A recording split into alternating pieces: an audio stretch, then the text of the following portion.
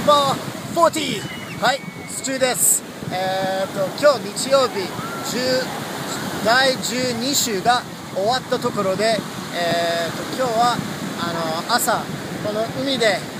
こう泳いでこう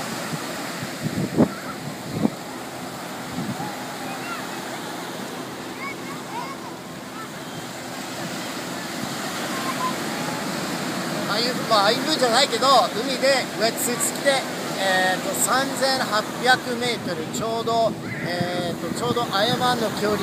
泳いだ。それは他の友達と一緒に、あのこの海で泳いで、えーと、それが1時間半ぐらいかかって、でまあ、ウェットスーツとか脱いで、えー、と自転車乗って自分の家家近いけど、まあ、それに戻って、えー、と着替えてちょっとだけ食べ物食べた、まあ、大して食べ物食べてないけどちょっとだけ食べて準備してまたすぐに走り出してで辛かったけど30キロ走ってきた。で昨日の自転車200キロの自転車と今日の3800メートルの水泳とあの今日のあのラン、えー、30キロのランだとほぼアヤマン距離自転車はアヤマンよりも長かった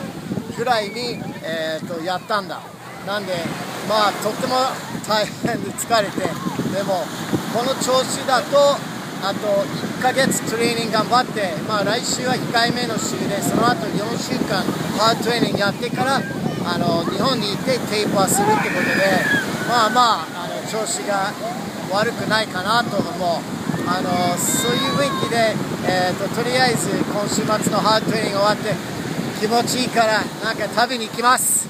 そういう雰囲気で第12週終わったんです。はいあのスチューでした。スーパー40